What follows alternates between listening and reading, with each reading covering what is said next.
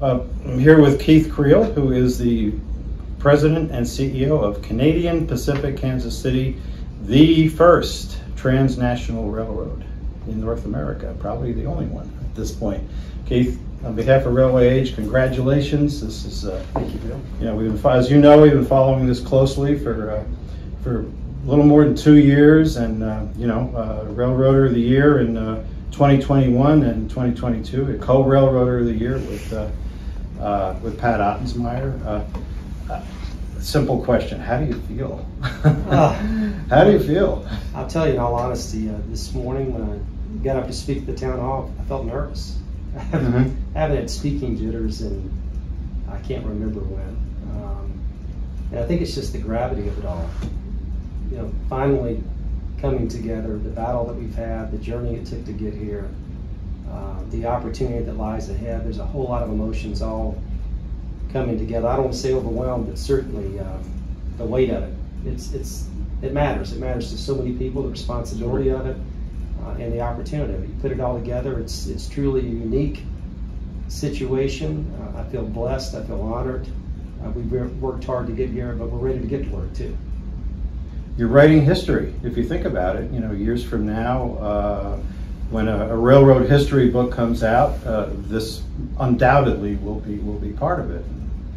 Yeah, absolutely. Um, you know, the, again, you think about gravity. You think about um, milestones in in industry's history and, and nation's histories. Um, never before has any rail network connected all three countries, uh, and I would suggest never has there been a time of greater need than today to do that. So when you think about that, um, when you think about you know this railroad, prior history, Canadian Pacific, being the railroad that connected a nation in 1885. Mhm.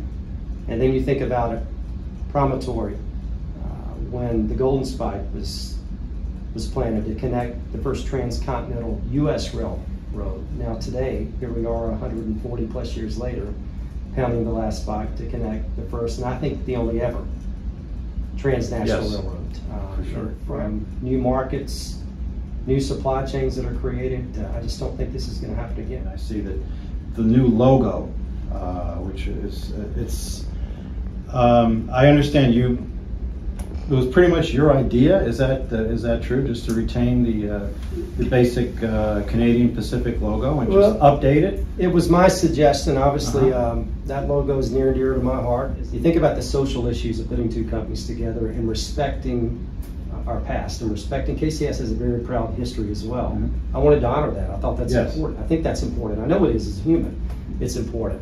Uh, but Pat embraced the Beaver as well because of what it stands for: hard work, determination, Determination. Uh, Mhm. never giving up. And I, and I even think about the journey that we had to go through to get here today Yeah. is I, it's like the beaver that never stopped. you know? Right. Right.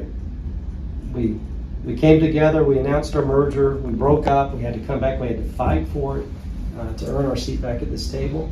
Uh, and again, I can't think of anything more symbolic than thinking about that beaver, so. And beavers are builders, as we know. And that's They're- exactly, Yeah. this, this railroad will help these nations build. Uh, So again, I think it's appropriate. I think it honors all three companies, and I think it gives us something to be focused on and reminds us of what our commitment is to serve and to build. And uh, here in Kansas City, you're uh, making a commitment, you're investing, uh, you're building a new U.S. operations center right here Yes. uh, in the yard that'll handle, uh, it'll be dispatching, customer service, and some other, some other functions. Yeah, we're gonna do a, a groundbreaking ceremony after the spike ceremony today. Um, as you can imagine, uh, we like to we like to get engaged. We've been planning this for quite some time. Uh, we've owned joint agency here in this yard, so we uniquely, without getting hit of the regulator, because it was we're part owners here. Uh, we put the plans together. Uh, we've got the permits. We literally go to work next week. So a year from now, uh, we will have a state-of-the-art U.S. operations center. Uh, we'll have the employees that are working in the KCS Cathedral building now transition here. Mhm.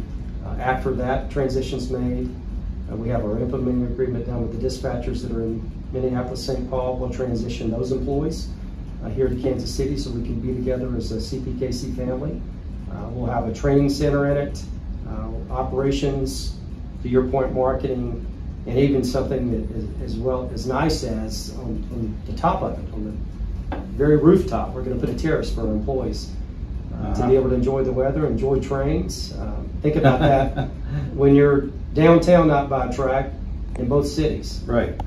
I found over my history, when you come to the rail yard, Mhm. you can smell the trains and feel the trains and interact with employees. Uh, it's undeniably railroading, and that's the way we're all wired, and it, it motivates people. Sure. Uh, so yeah, we're really looking forward to that. It's going to be extremely nice. And then, of course, uh, uh, Pat Ottensmeyer is staying on uh, at least through the end of the year as, a, as an advisor, and uh, uh, you know he's very well connected with, uh, uh, with with Mexico. A lot going on in Mexico. Next year is a presidential election, and uh, I, I, I met with Pat last night, and uh, and he's he's happy. I mean, he's really uh, you know he's closing out his uh, uh, railroad career on a, on a very high note. Yeah, Pat, um, I've always had a lot of respect for Pat.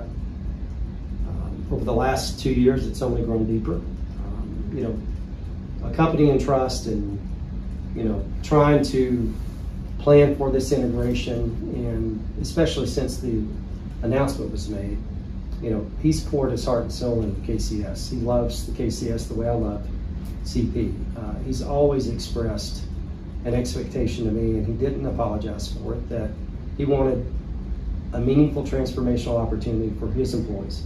Uh, and that's what we're creating. And throughout this entire process, he's been nothing but a gentleman, nothing but supportive. Uh, and as we go forward, for him to agree to work as an advisor, special advisor to me, uh, our partnership will just grow deeper. He's got a tremendous amount of knowledge. Uh, he's established a tremendous amount of respect, especially in Mexico, as well as in Washington. Um, he's very active in the um, um, in the business community as far as connecting the nations. USMCA, he Mhm. had a seat at that table. Uh, so I've got a tremendous amount that I'm going to learn from him and make sure that his good work we build upon it and we don't lose any ground. Uh, so for him to stay and work with me to be able to do that for the balance of this year, you know, kudos to, to us. The Mhm. company's going to benefit, and and again, Pat's such a gentleman; he'd have it no other way. Well, on behalf of Railway Age, you know, uh, we, we, you know, as you know, we've been around since 1856. Uh, not me personally, uh, but we are very privileged and very honored to uh, to be a part of, you know, a, a part of this history. And uh, uh, th- thank you for everything that you and your staff have done to to help us, you know, write that story. Sure. Well, thank you. Thank you for the support. Good. Um, Very good. We appreciate it. We look forward to writing Yes. many more chapters Ab- of success Absolutely. Okay. together. Yes.